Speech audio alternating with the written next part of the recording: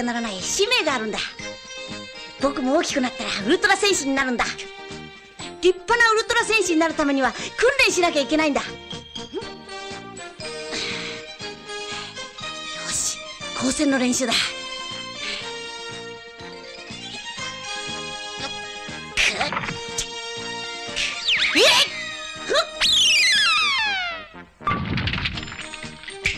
えっ。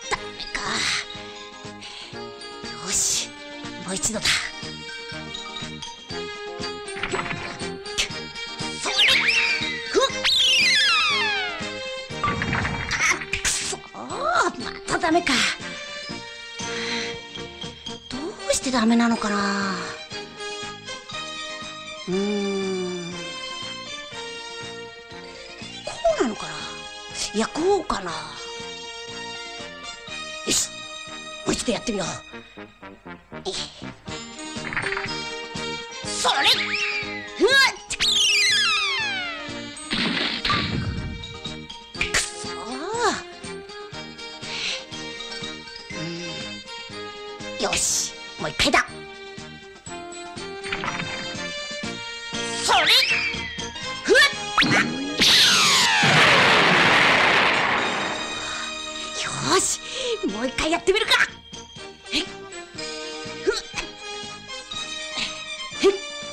頃地球ではゾフィー兄さんやウルトラマン兄さんそれにセブン兄さんがウルトラ戦士として悪い怪獣をやっつけてるんだ。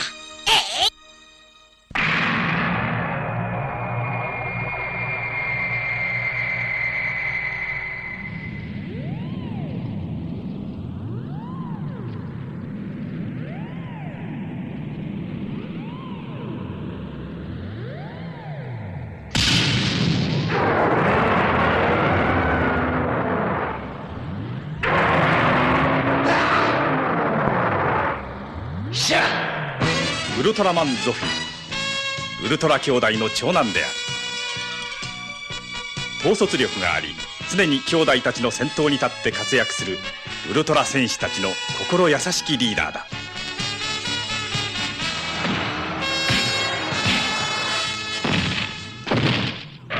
ゾフィーがタイラントと戦っている間中近東のバラージ王国に磁力怪獣アントラーが現れた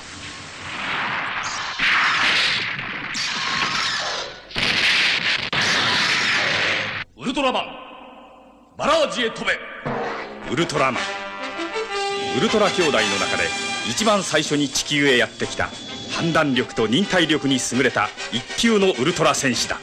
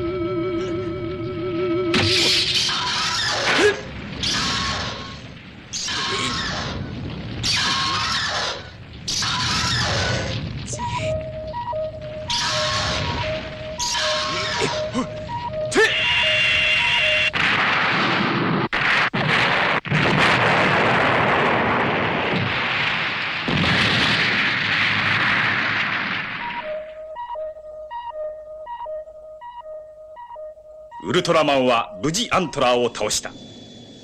またその頃地球征服を狙う防具星人がウルトラセブンに挑戦していた。ウルトラマンに続いて地球へやってきたこのウルトラセブンは冷静で強い意志を持つウルトラ戦士である。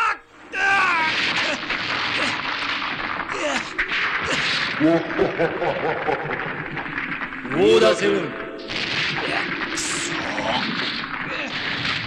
よ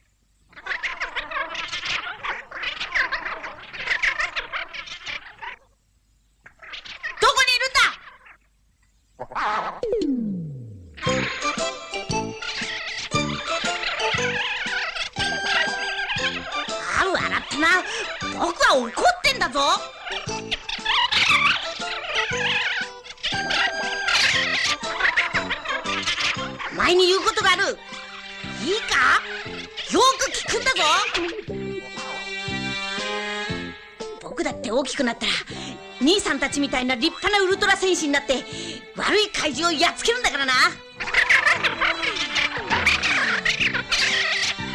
もうこったぞ。お前を怪獣退治の練習台に使ってやる。よし。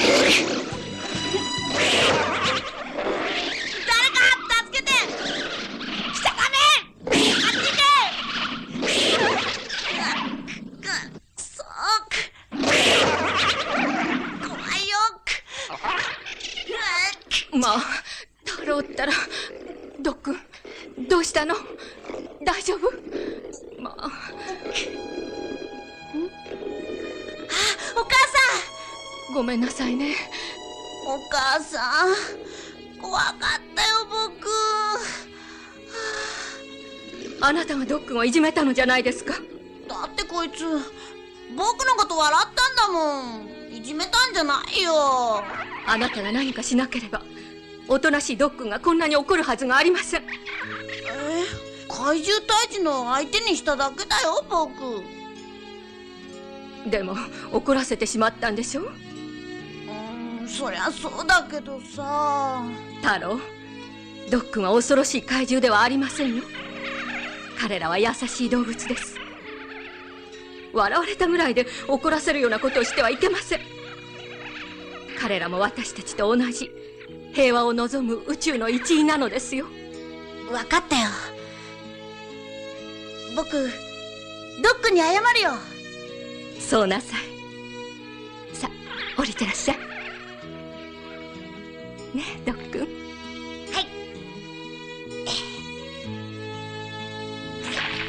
気をつけて。はい。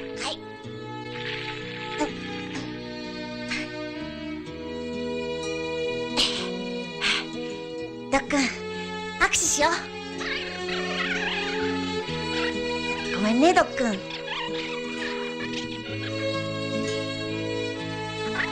よかったわね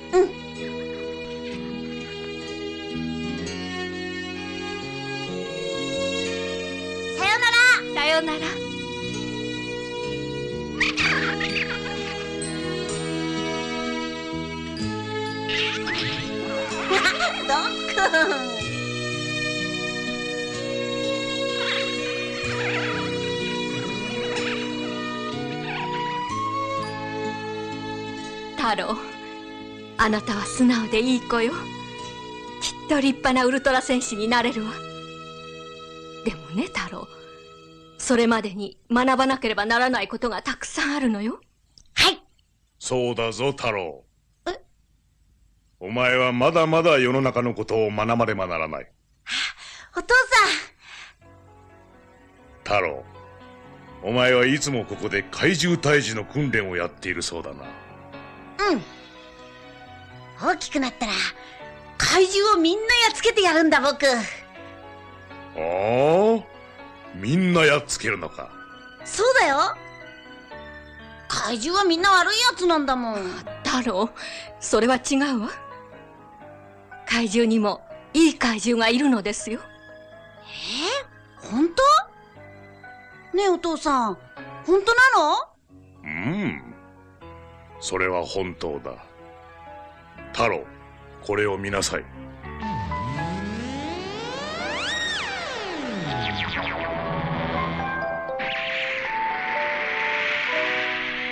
今現れたのが、ウルトラセブンが地球へ連れて行ったカプセル怪獣のミクラスだ。あの怪獣は僕たちの味方なの？そうだ。ミクラスも我々と同じく邪悪な怪獣と戦う平和の戦士なのだ。どうだ、太郎。僕怪獣にいい奴がいたなんてちっとも知らなかったよお前はこれから多くのことを知らなければならない。そのためにも、もっと見せておきたいものがある。何を見せてくれるの？さあ太郎ねえどこへ連れてってくれるの？大宇宙だ。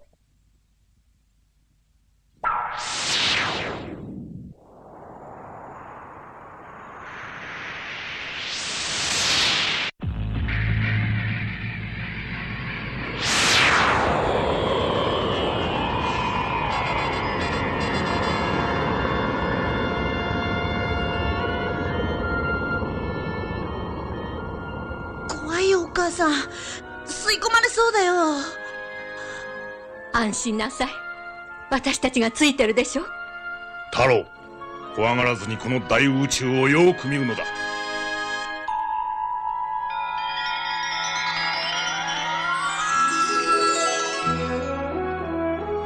我々ウルトラ戦士の真の目的は、この大宇宙の平和を維持することなのだ。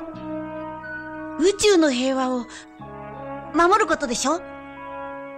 そうよ太郎。この広い宇宙には平和を愛する人々がたくさんいます。でも逆に平和を乱そうとする者も少なくはないのです。それが悪い怪獣なんだね。そうだ。彼らはこの宇宙の歪みが生んだ邪悪な存在だ。ウルトラ戦士は宇宙の平和を守るため、宇宙の歪みを正さねばならない。そのためには、知恵、勇気、愛を知り、そして肉体を鍛えなければならない。お前が本当のウルトラ戦士になるためには、様々なことを学び、厳しい訓練を受けなければならない。わかるなうん僕どんなことがあっても頑張るよ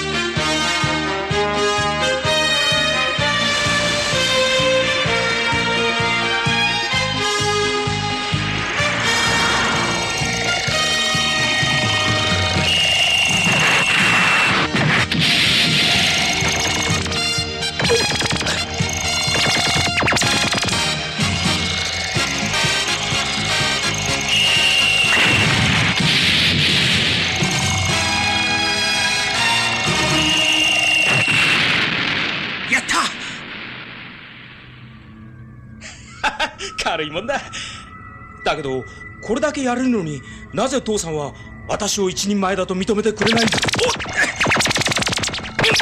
はあああ父さん。太郎お前は訓練中に余計なことを考えていたな。少し油断しただけです。その油断が死を招く結果になるのだ。そんなことは分かっています分かっているのならなぜ油断した？父さんが私を一人前だと認めてくれないからです。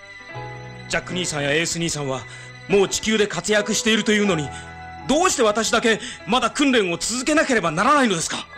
太郎がウルトラの父に不満をぶつけていた頃地球では古代怪獣ツインテールが地底からその不気味な姿を現していた。それを知ったウルトラマンジャックは都市を破壊するツインテールを倒すために立ち向かった。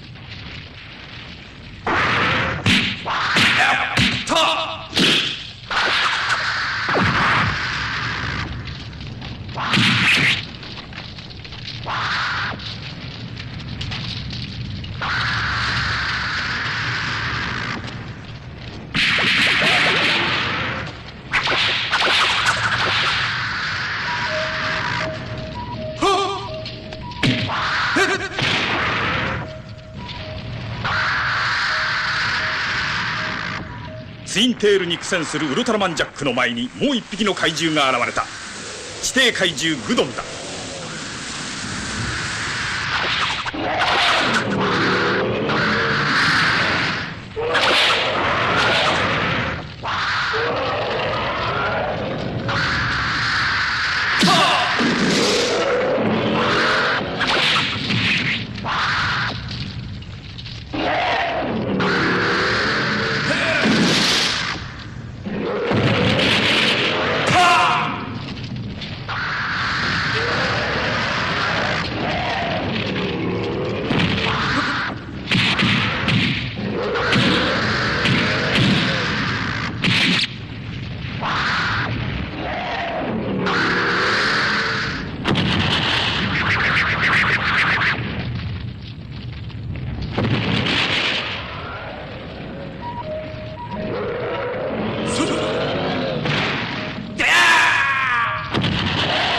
でどんな時にもひるまない若きウルトラ戦士ウルトラマンジャックは二大怪獣にも負けはしない。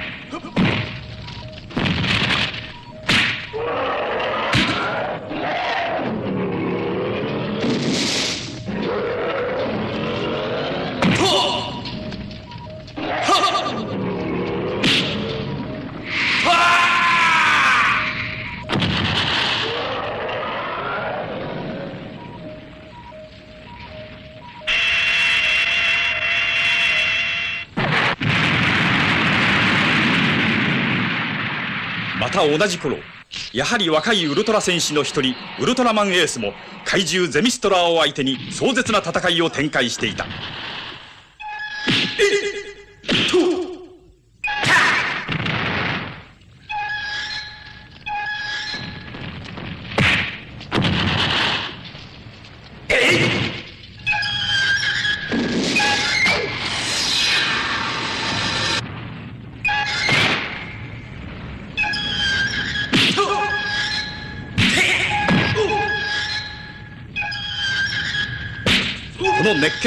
ウルトラマンエースの俊敏な動きは怪獣ゼミストラーを圧した。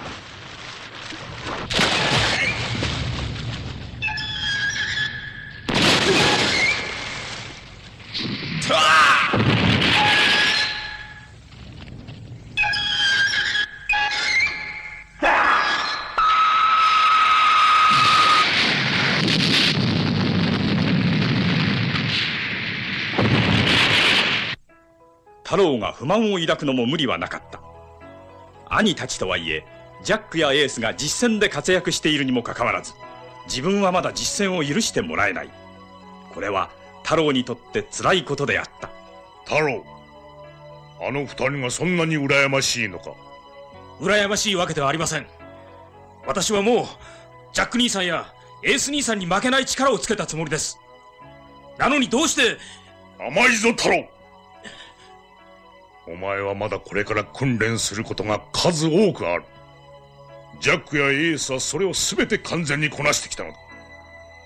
ところが今のお前はどうだ？自分の力を過信して訓練を簡単に考え、他のことに気を取られてすぐにミスを犯すではないか。そ、それは、そういうことだから、私はお前を一人前として認めることができんのだ。邪念は捨てろ無心で訓練に取り組むのだ。それができんなら、お前は永遠にウルトラ戦士として認められんだろう。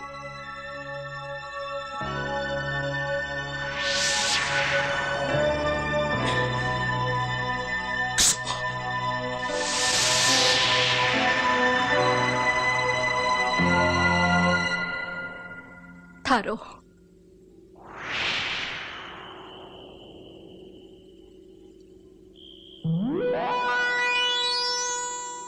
母よ。太郎のことなら心配はいらん。そうでしょうか少し強く言い過ぎたのではありませんか大丈夫だ。あのぐらいのことでダメになるような子ではない。それとも信じられんのか？いいえ太郎は強い子だと私も信じていますならば、今あの子を甘やかしてはいかんぞ。私はあの子を超一流のウルトラ戦士に育てなければならないのだ。わかるな。ええ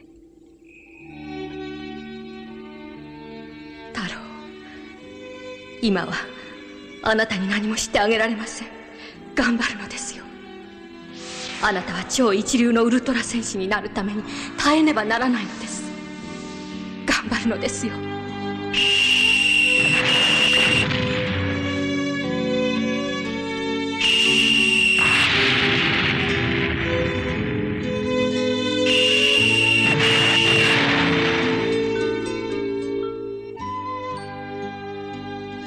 父さんの言う通りかもしれない。訓練の最中に無心になれないなんて私はまだまだ未熟なんだ。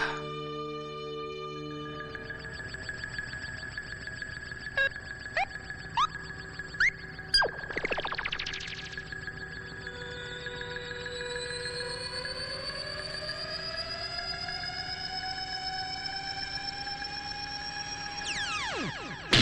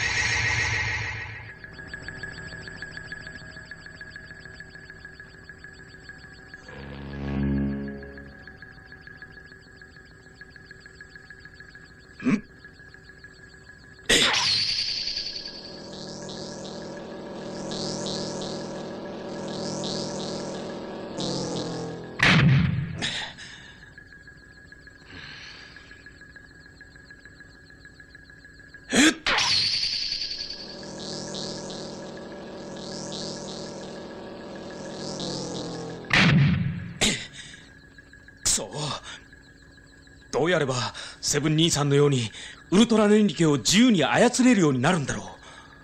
集中力だ太郎。ウルトラ念力を使うにはもっと精神を集中しなければならん。父さん見てたんですか？太郎最近よく訓練に精を出しているようだな。ええ。私はまだまだ訓練が足りないことを知ったんです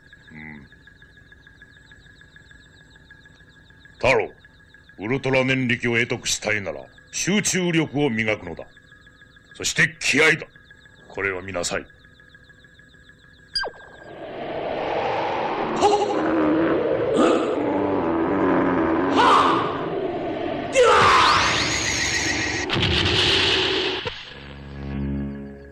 見たか太郎。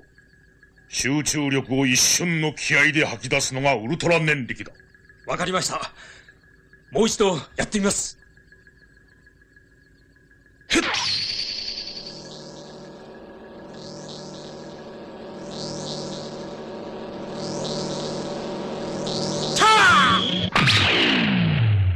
やったー。やりました。父さん。そうだ。その呼吸を忘れるな。はい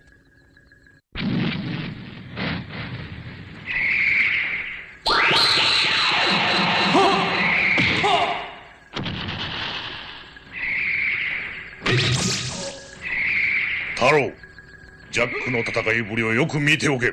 はい。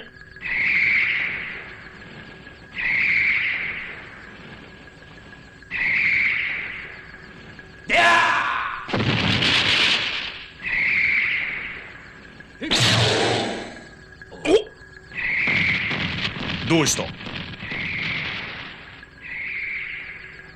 まさかこれは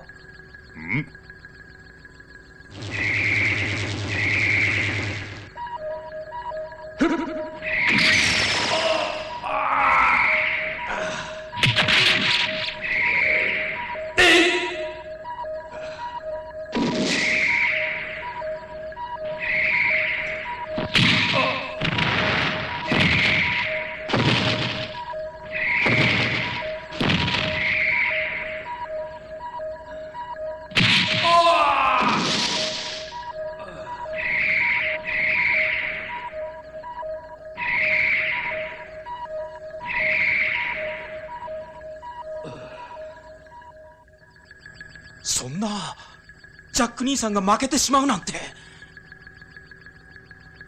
安心しろ太郎。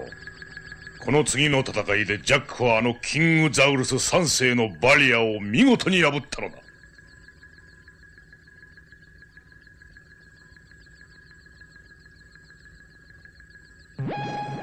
太郎私をキングザウルス3世だと思ってこのバリアを破ってみろ。どんな技を使っても構わん。え？遠慮はいらん。全力でこのバリアを破るのだ。わかりました。遠慮はしません。よ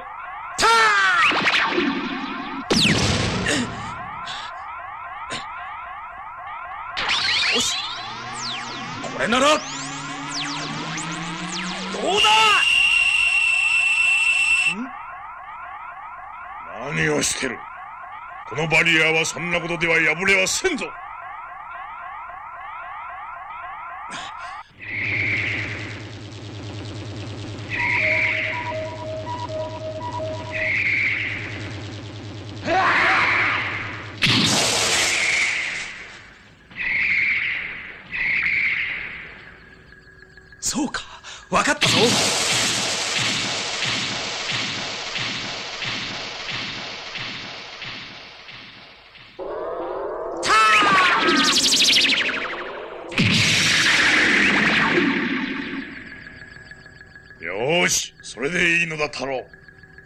次はこれだ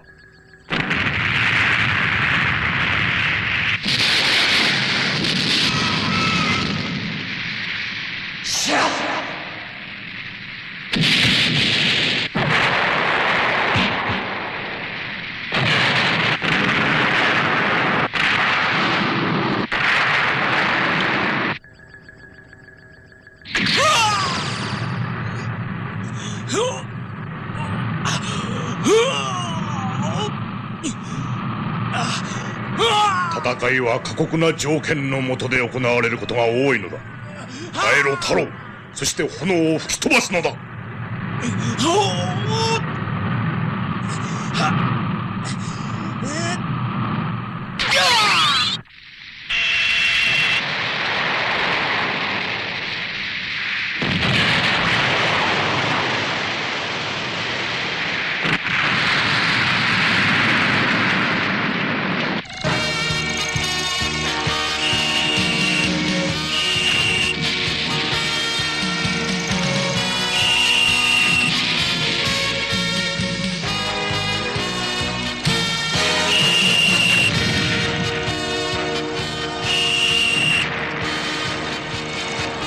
訓練に励んだ。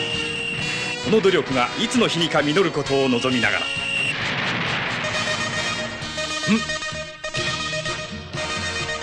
父さんのウルトラサインだ。太郎すぐに私のところへ来るのだ。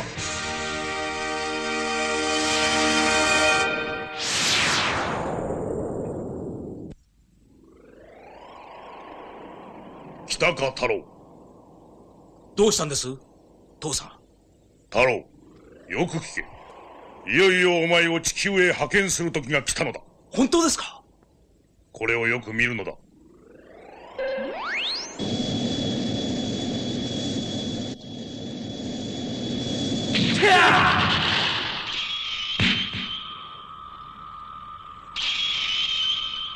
エ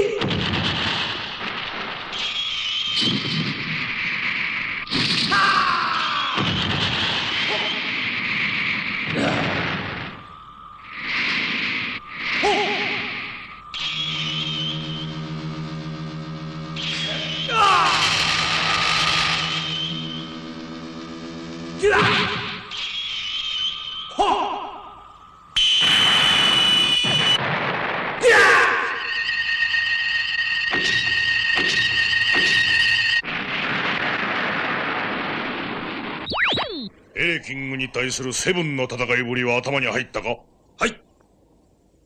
よし。次はウルトラマンとメフィラス星人の戦いだ。この戦いも頭に叩き込んでおくのだ。わかりました。メフィラス星人さっさと自分の星へ帰れ。黙れ。私はこの地球をもらいに来たのだ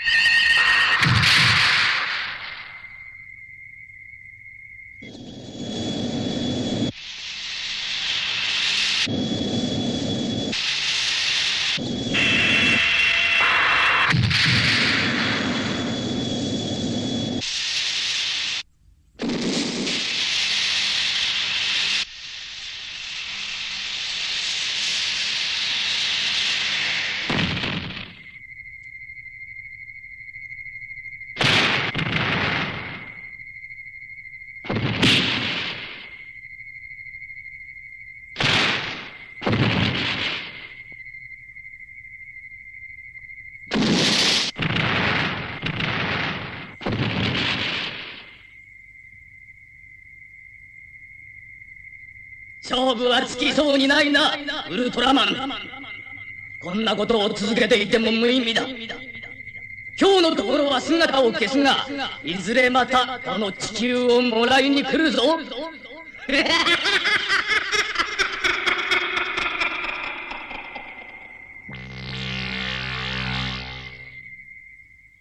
父さんもしかしてこのメフィラス星人がまた？そうだ太郎このメフィラス星人がまた地球に現れたのだ。それにセブンが倒したエレキンを月光怪獣として改造し地球へ連れてきている。それで私を地球へ。うん。ウルトラマンやセブンの戦いを参考にして改造エレキングとメフィラス星人を倒すのだ。わかったな太郎初めてウルトラ戦士として出動を許された太郎は闘志を胸に一路地球へ向かった。ウルトラの父が授けた勇気を胸に行くぞ太郎。ウルトラの母が送った愛を心に飛ぶんだ太郎。少年時代に憧れた宇宙戦士の時は今。待ち受ける幾多の冒険も愛と勇気で超えてゆけ。地球を目指せ。緑の星へ。兄さんたちも戦った思い出の星。美しい星。地球が地球が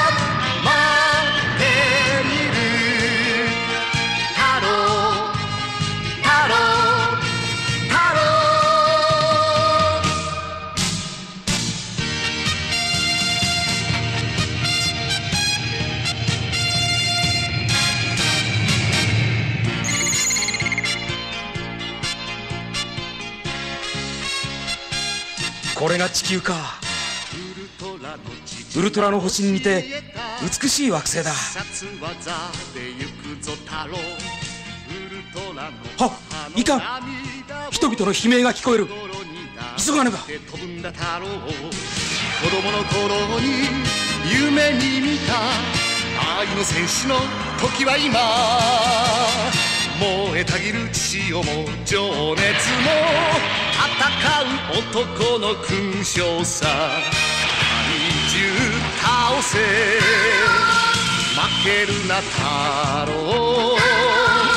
いくらパンチだスペシウム父さん見てくれ必殺技を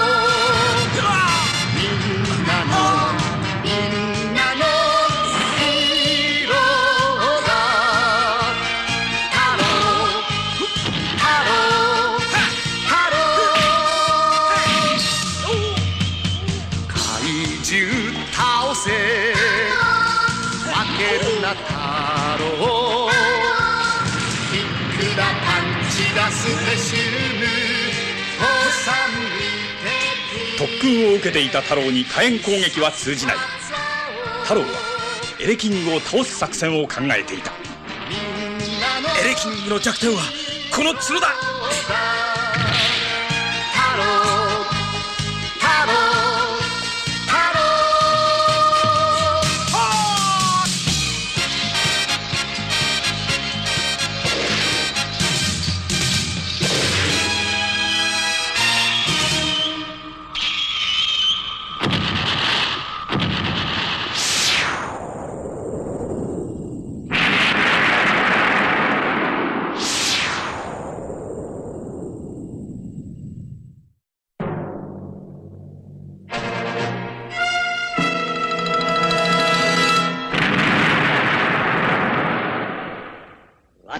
改造エレキングを倒したウルトラ戦士よ。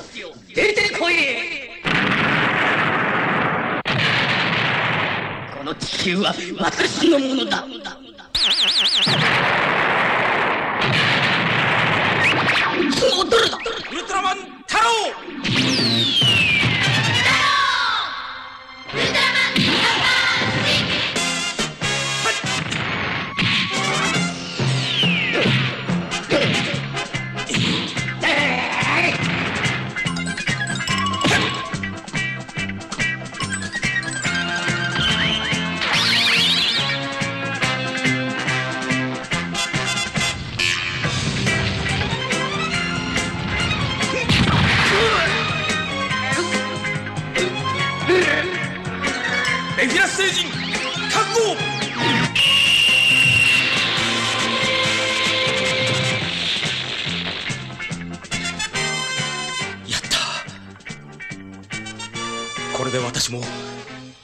戦士の仲間入りだ。改造エレキングとメフィラス星人を倒した太郎はこれで自分もウルトラ戦士として認められると喜んだ。しかし太郎訓練はまだ終わったわけではないぞ。え？まだ特訓をやるんですか？そうだ。お前はまだまだ鍛えられねばならないのだ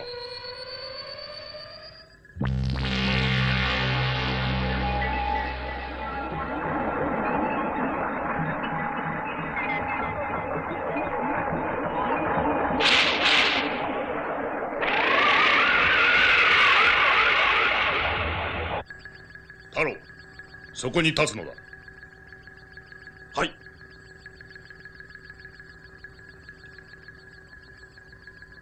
よいか。ちょ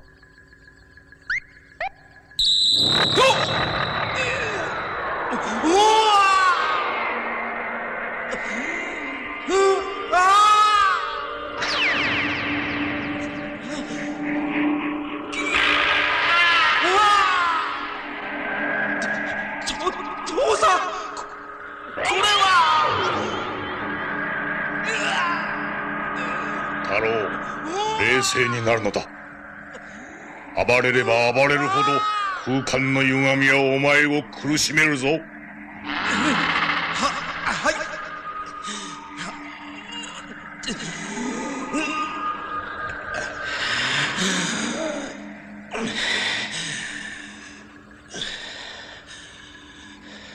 それでいいのだ。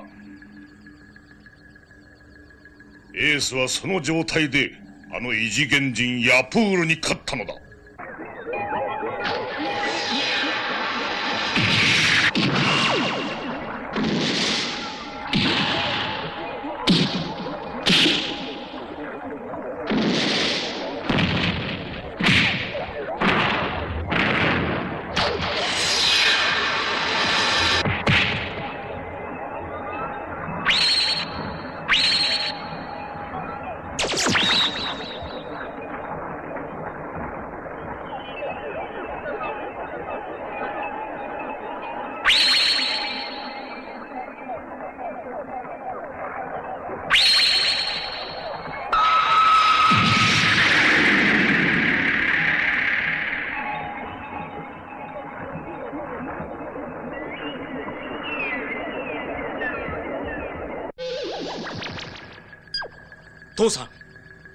私はいつまでこんな特訓を続けなければいけないのです。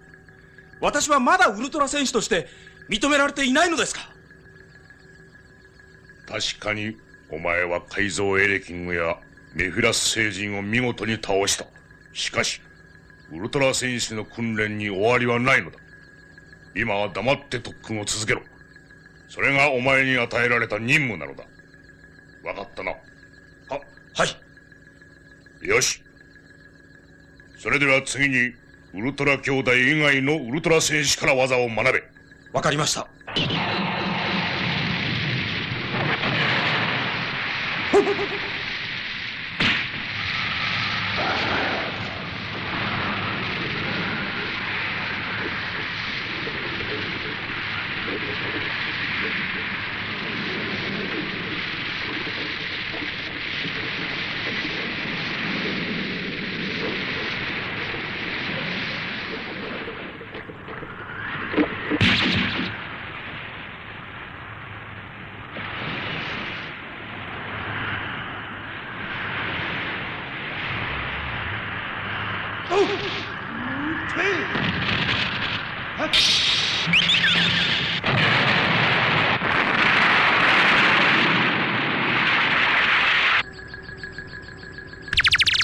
太郎があなたの言葉にあんなに素直に従うなんて。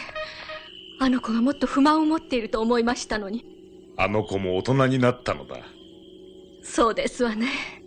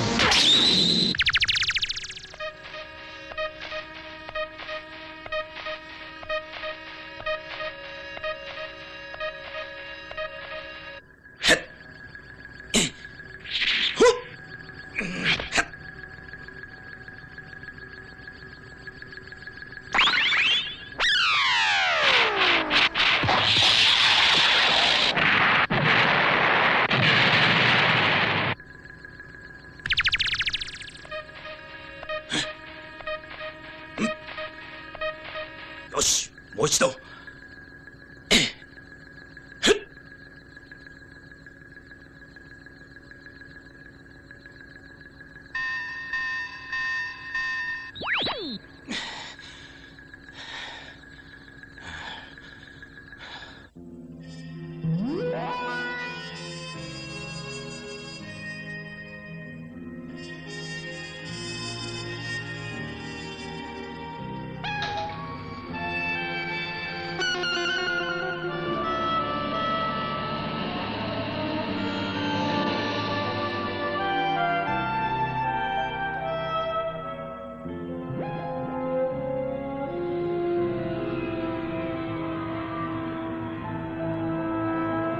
厳しい訓練に疲れた太郎は光のシャワーでエネルギーを補給しやがて深い眠りについた。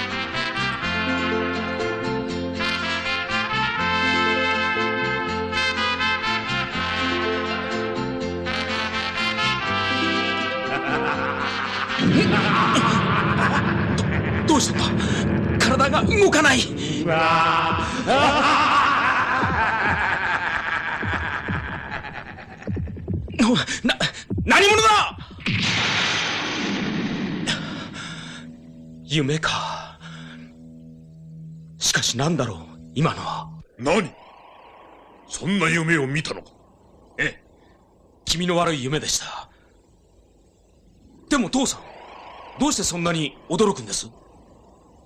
太郎その夢は正夢かもしれんぞ。え？私には以前から恐れていたことがあったのだ。恐れていたこととは？それはいずれわかる。それよりも今から最後の特訓に入るぞ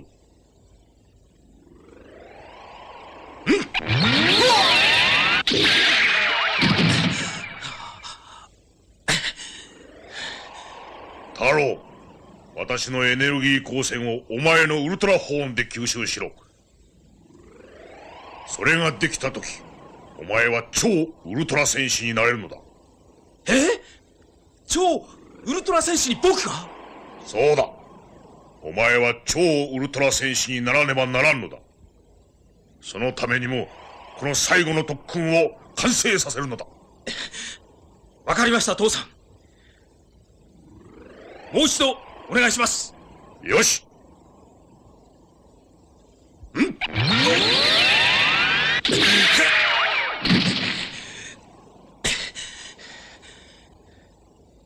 どうした太郎。平気です。何度でもやってください。行くぞ。はい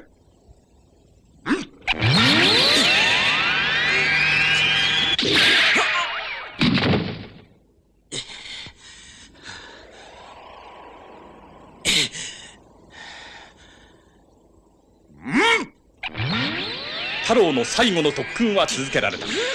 しかし父が発する強力なエネルギー光線をウルトラホーンに吸収する技の完成は簡単ではなかった。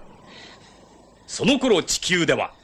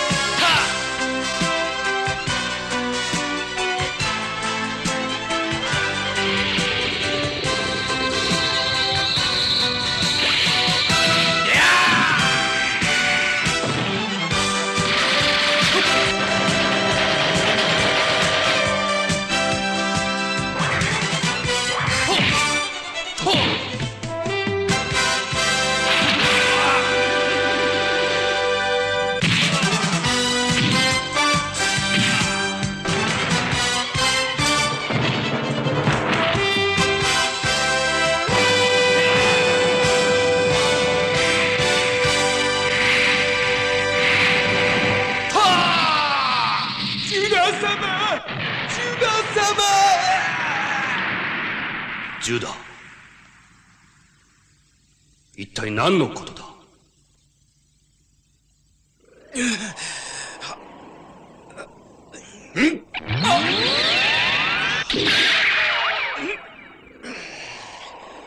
太郎しっかりしろ。もう少しだ。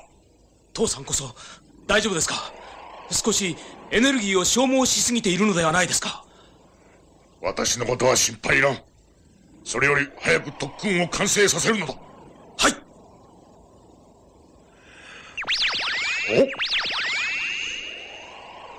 どうしました？レイキーのウルトラサインだ。え？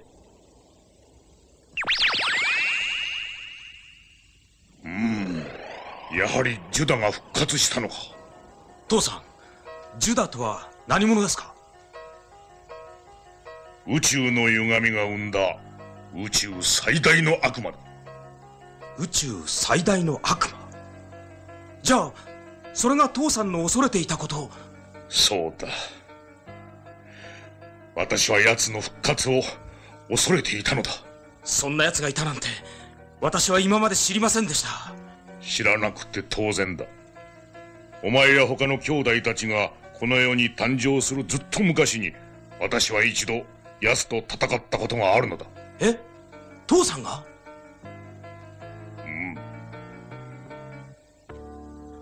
あれは5万年ほど前のことだ。ジュダは宇宙全体の空間をねじ曲げ大宇宙の破壊を目論んだのだ。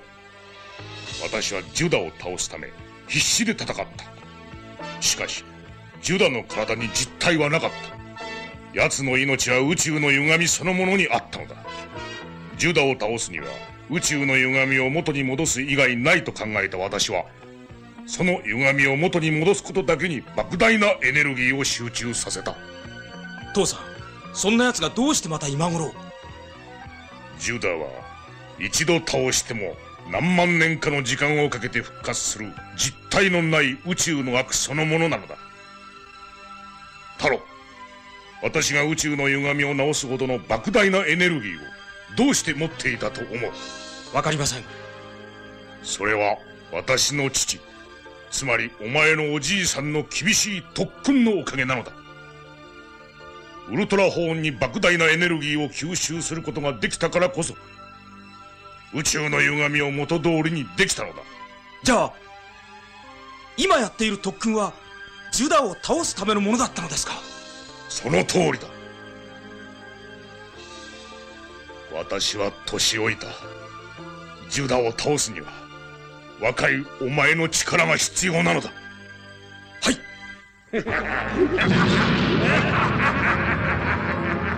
わしはついに復活したぞ。ウルトラの戦士たちよ。5万年前の恨みは必ず晴らしてやるからな。わしが一声かければ全ての宇宙怪獣が動き始めるのだ。次はヒッポリト星人をあの地球へ送り込んでやる。行け！ヒッポリト星人。私はジュダ様の命を受けてウルトラ戦士を抹殺に来たヒッポリト星人だ。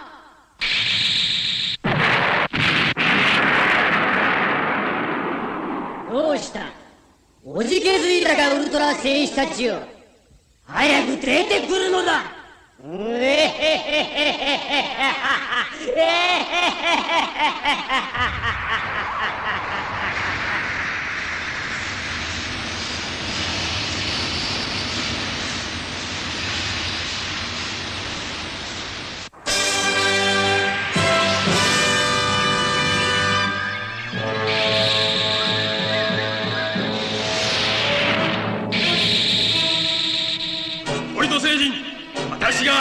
action!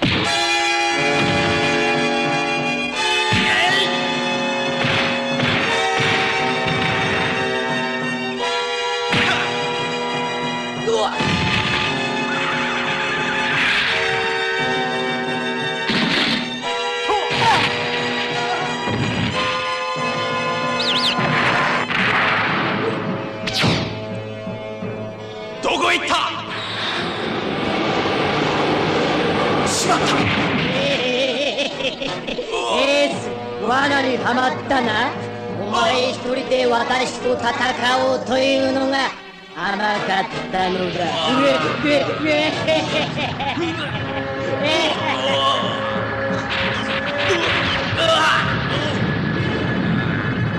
苦しめもっと苦しめ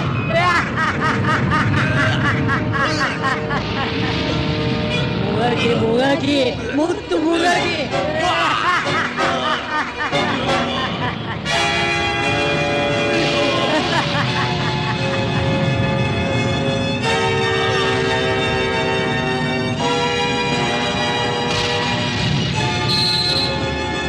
ルトラサインを出したらそれでいい。他のウルトラ兄弟もお前と同じようにしてやる。と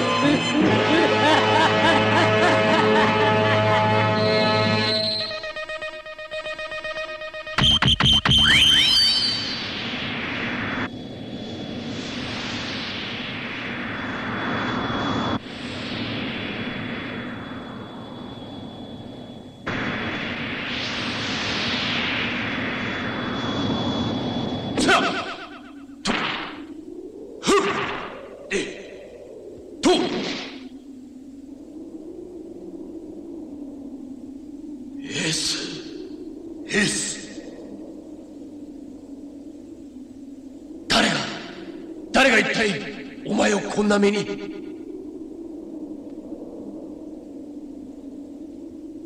この敵は必ず取ってやる。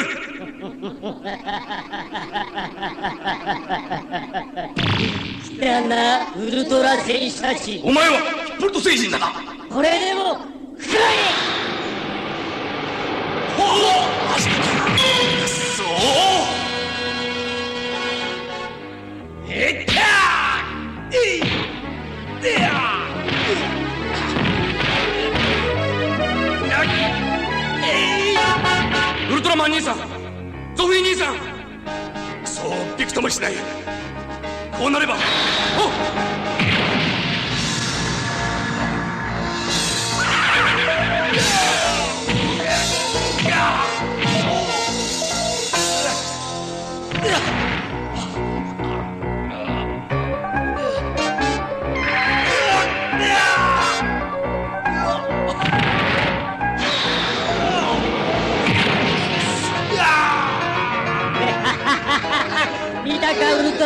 たちよお前たちの最後だ。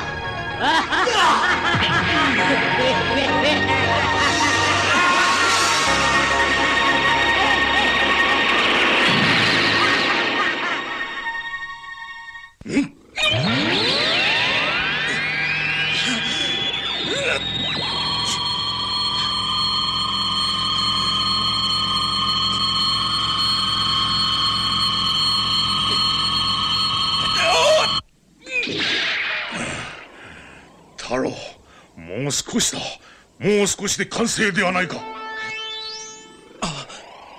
母さん。どうしたのだ？あなた大変です。ゾフィーたちが。とにかくこれを見てください。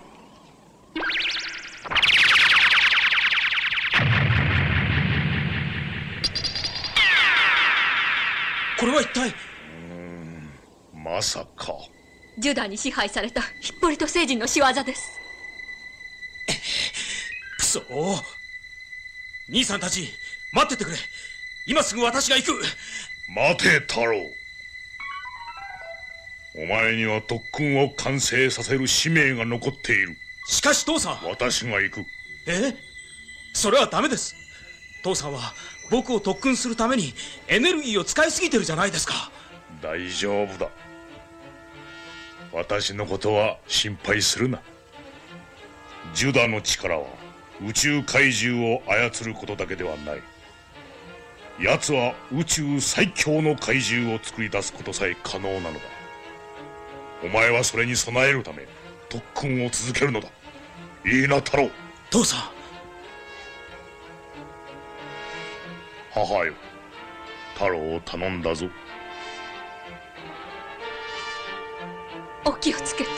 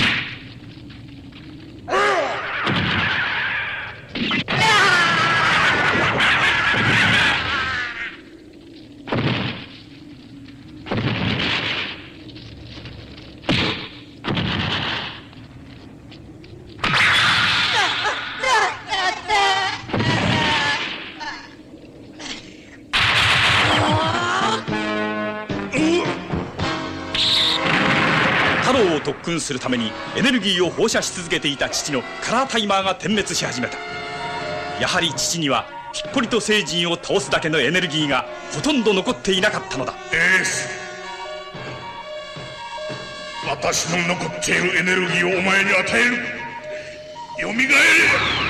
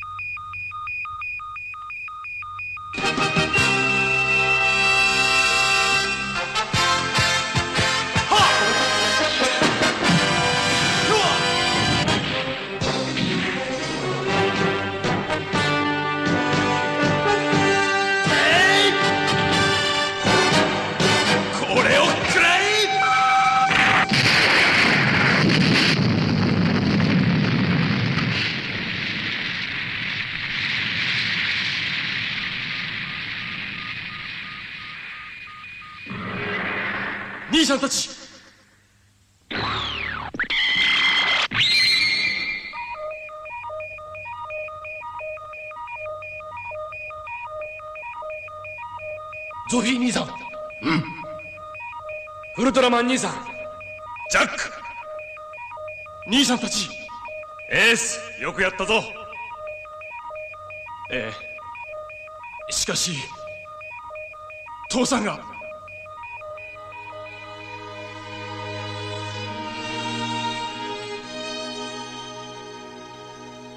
父さん。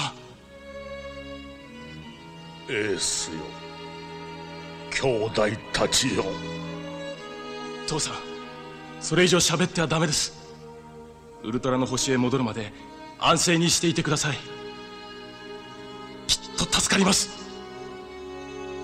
兄さんたち父さんを連れて帰りましょう。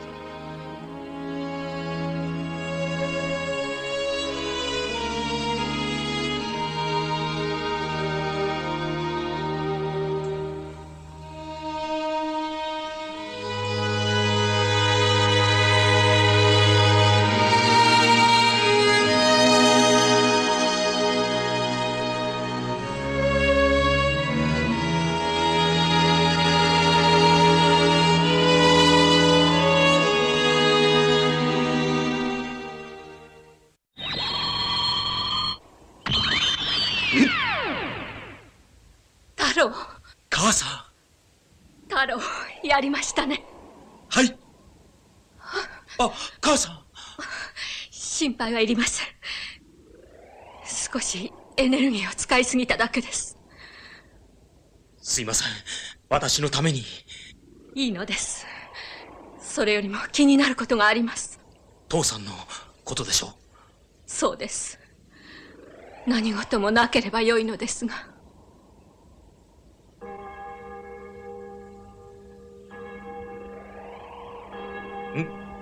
あれは？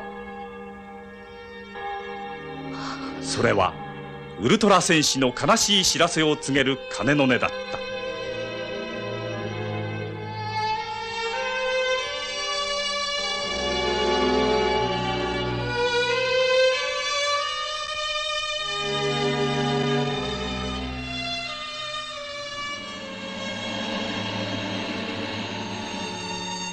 父さん。こんな姿になるなんて。やっぱりあの時僕が行けばよかったんだ。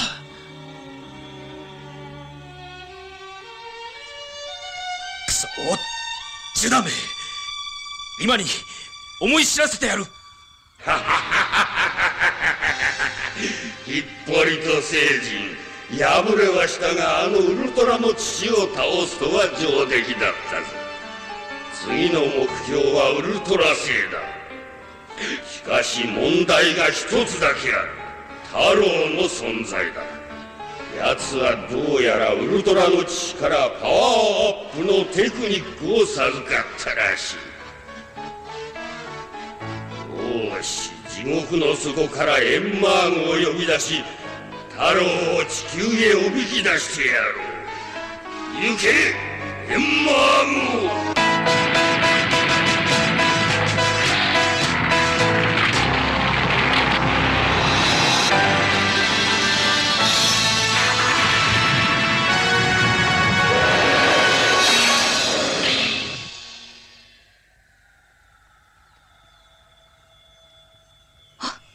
母さんどうしました？地球の人々が助けを求めています。え？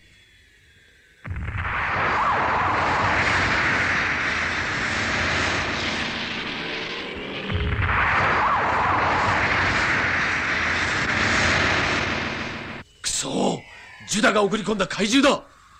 またジュダが怪獣を地球に送り込んだに違いない。行くぞ！おお！兄さんたち待ってください。今度は私が行きます。太郎。母さん父さんの敵は私が撃ちます。母さんは父さんの看病をお願いします。わかりました。太郎。行ってきなさい。はい。兄さんたち父さんをお願いします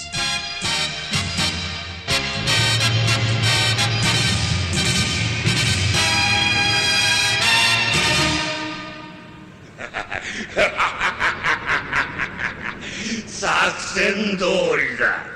太郎がいなければこちらのもの。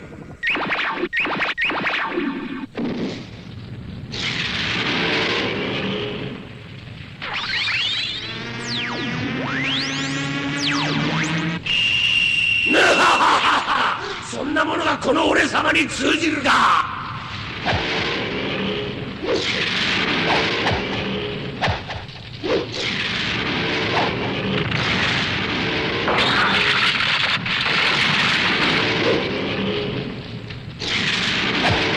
太郎お前の最後だ。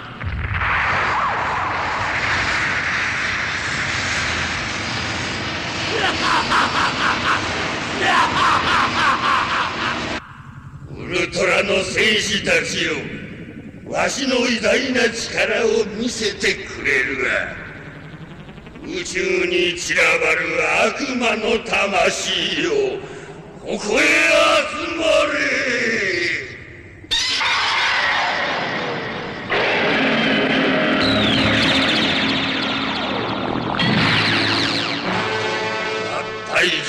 ランドキングよ。お前にわしの力を授ける。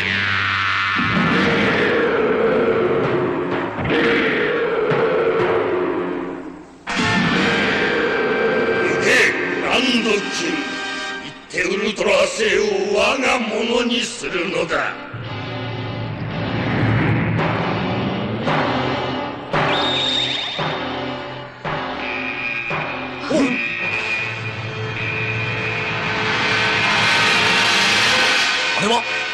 多分あれはジュダが作った怪獣です。兄弟たち行くぞ。おう。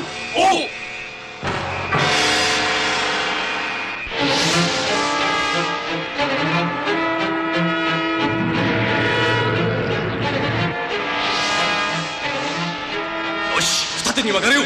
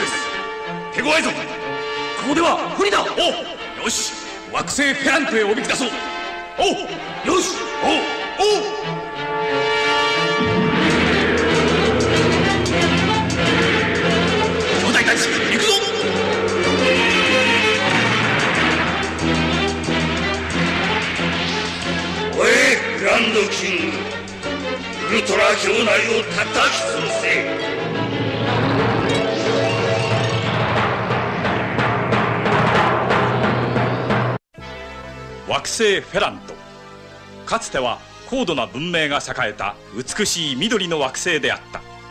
しかし5万年前ジュダの悪意によって滅亡し今は死の惑星となっている。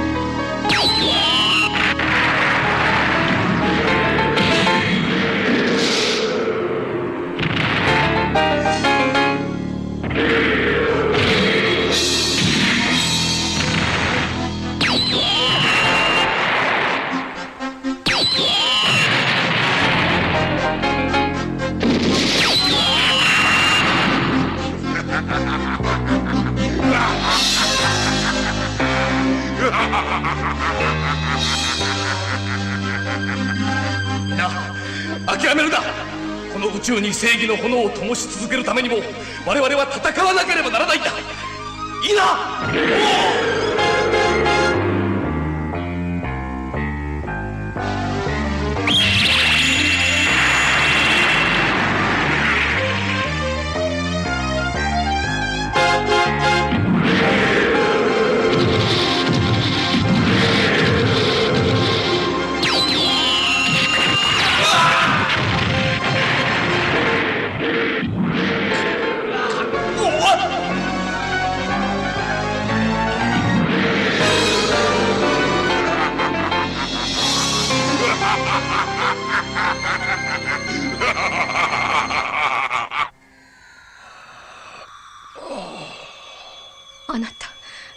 このままではゾフィーたちが。太郎はまだか。この危機を救う者は太郎しかいない。太郎早く戻っておくれ。ウルトラの星がジュダに襲われたのです。え？ウルトラの星が？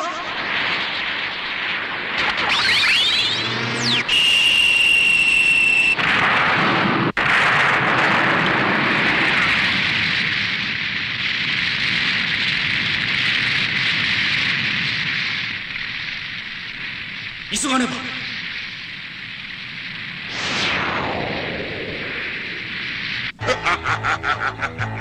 そのままひねりつぶしてしまえ。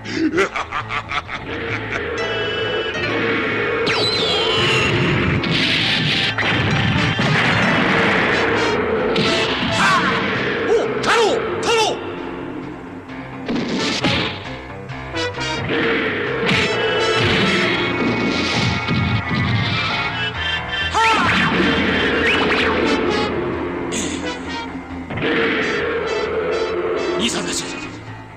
大丈夫でしたか？ああ。このぐらいなんともないさ。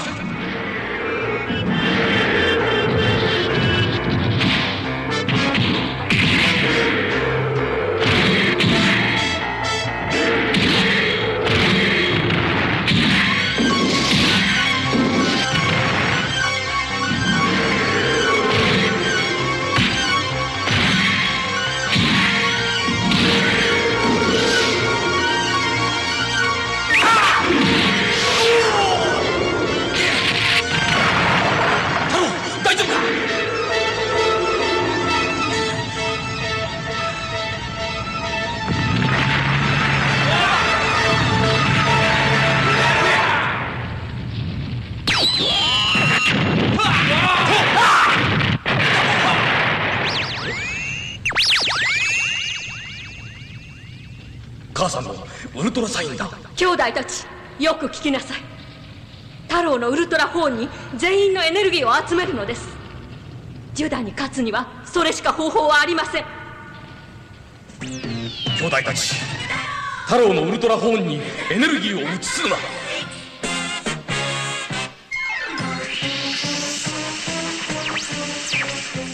兄さんたちお願いします。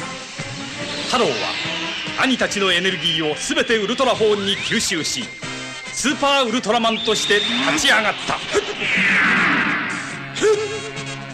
グランドキング謎を通せ。ウルトラの父がいる。ウルトラの母がいる。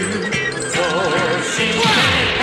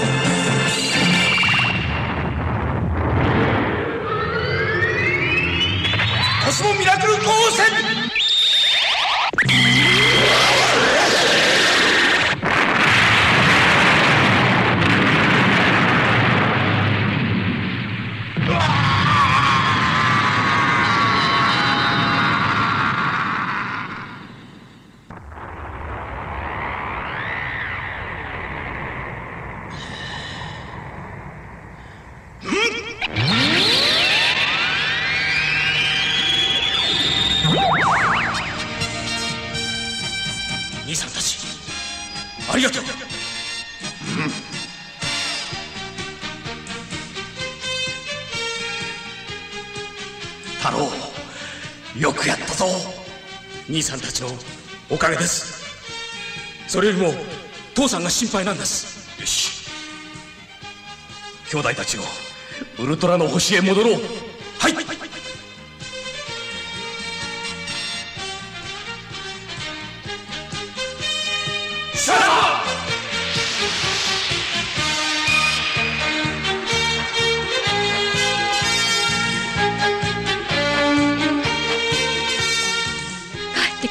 ってきましたわ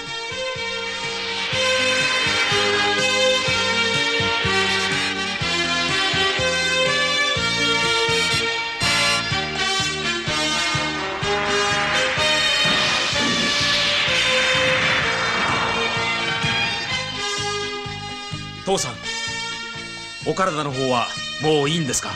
心配をかけたな。もう大丈夫だ。元気になって何よりですみんなお前たち全員のおかげだ。母よ。兄弟たちよ。お前たちの素晴らしい力に感謝する。ありがとう。太郎よく頑張ったな。いいえ。父さんや母さんの特訓があったからこそ私は戦うことができたんです。そして兄さんたちの協力があったからこそジュダを倒すことができたんです。太郎よ。宇宙の歪みはこれからも邪悪な怪獣を生み出してくるに違いない。お前たちは協力し合ってこの大宇宙の正義と平和を守ってゆかねばならんのだ。いいな。ゾフィー。はい。セブン。はい。ジャック。はいウルトラマン。はい。エース。はい。そして太郎。はい。みんな頼んだぞ。はい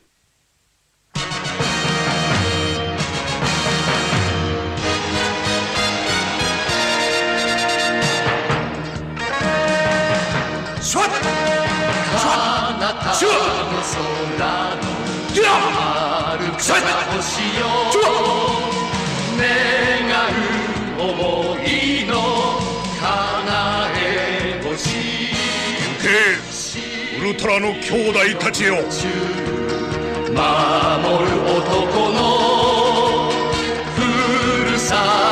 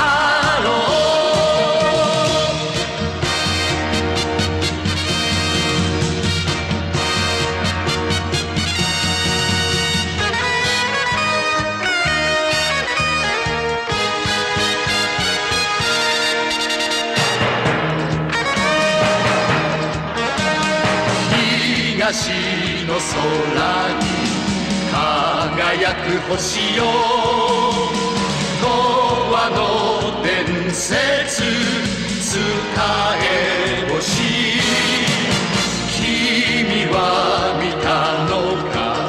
英雄たちを